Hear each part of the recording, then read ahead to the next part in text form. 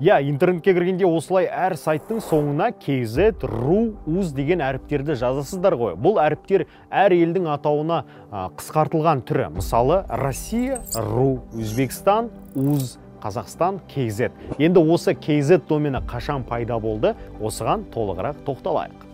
1994 жылы 14 қыркүйек күні ресми түрде kz домені тіркелді. Дәл осы күнді қазнет күні деп атайды. Сол жылы казинформ компаниясы реалком желісі арқылы алғашқы IP арнаны ұйымдастырды. Ол кезде деректерді беру жылдамдығы секундына 28 килобайт болды.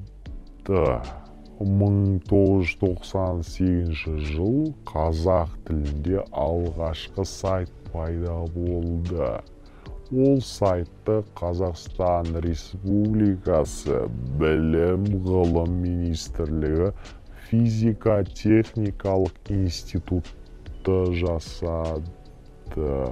Ой кешіріңіздер 1994 жылы түсіп кеттім ол кездегі деректерді беру жылдамдығы секундына 28-де 8 килобайт болды. Егер дұрыстап тыңдаған болсаңыздар. 2004 жылы қазақстанда 10 мың домендік атау тіркелген екен. Ал 2011 жылы 30 қарашада қазнеттің бірыңғай логотипін жасауға арналған республикалық конкурстың жеңімпазы жарияланды. 200-ден астам жұмыстың ішінен қостанайлық юрий новоселовтың нұсқасы үздік деп танылды.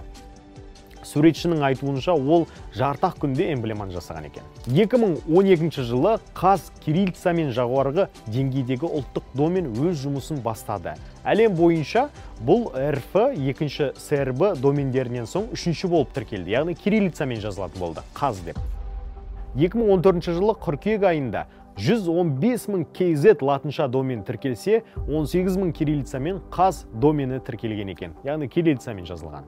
2015 жылы TNS Web Index деректері бойынша Қазақстанда интернет пайдаланушылар саны 3,47 миллионға жетті. Яғни 12 жастан 54 жасқа дейінгі халықтың 71 пайызы желіге айына кеміне бір ақ рет кіреді екен.